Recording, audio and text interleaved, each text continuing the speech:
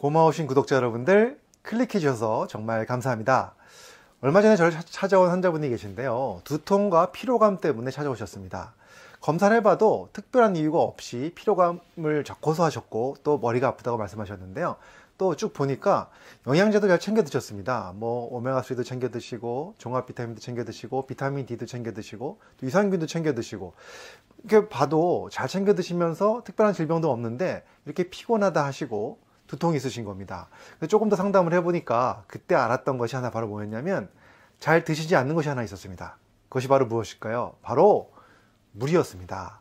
물을 잘 안 드시는 겁니다. 그래서 제가 이분께 물을 좀 열심히 하루에 최소한 2리터 이상 드시라고 말씀을 드렸더니 꾸준하게 챙겨 드시고 나서 열흘 정도 지나니까 굉장히 많이 두통과 피로감이 좋아졌다는 말씀을 하시더라고요. 그래서 오늘 제가 우리가 자기도 모르게 만성 탈수증이 들어갈 수 있다는 사실을 말씀을 드리고 이 만성 탈수증이 무엇인지 그리고 또 어떤 증상이 있는지 그리고 어떻게 대처해야 되는지 말씀을 드려보도록 하겠습니다.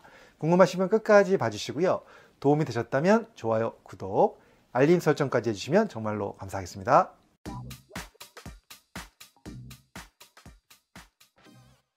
안녕하세요. 교육을 전공한 교육하는 의사 가정의학과 전문의 이동환입니다.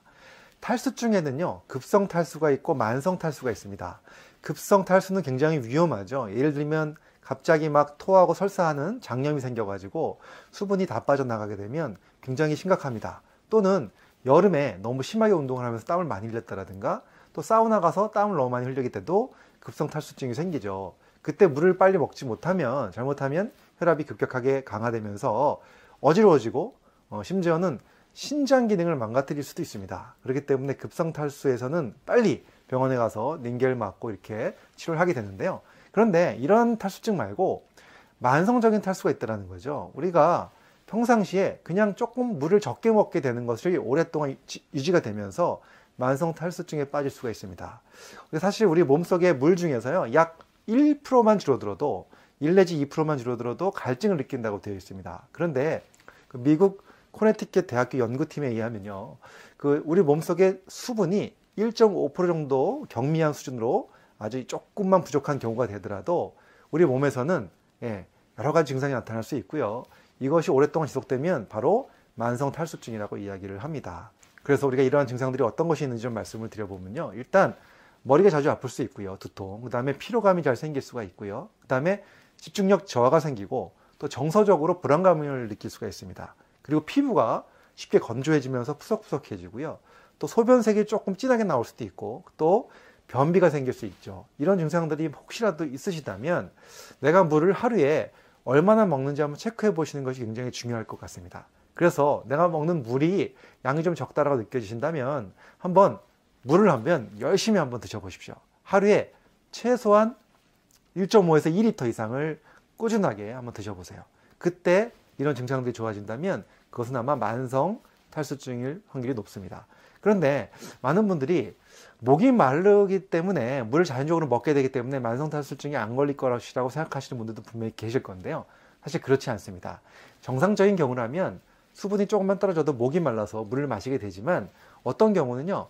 목마름 센서가 둔감해지면서 목마름을 못 느낀 상태로 만성 탈수증으로 갈 수 있다는 겁니다. 그래서 어, 어떻게 하면 좋으냐면